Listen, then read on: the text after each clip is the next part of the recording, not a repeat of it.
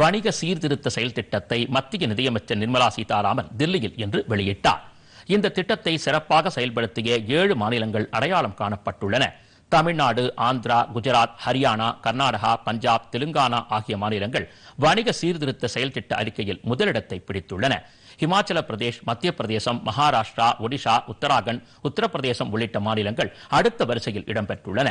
நிகழ்ச்சியில் பேசிய நிதியமைச்சர் ஆயிரத்தி தொள்ளாயிரத்து தொன்னூற்றி ஓராம் ஆண்டு முதல் வணிக சீர்திருத்தங்களின் தன்மை மாறிவிட்டதாக தெரிவித்தார் India drastically changed the way in which this could be actually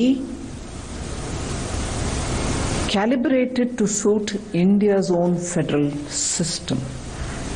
The ease of doing business today having come to become Business Reforms Action Plan has itself seen a lot of right changes and adaptations which were so required for understanding what's happening for business on the ground.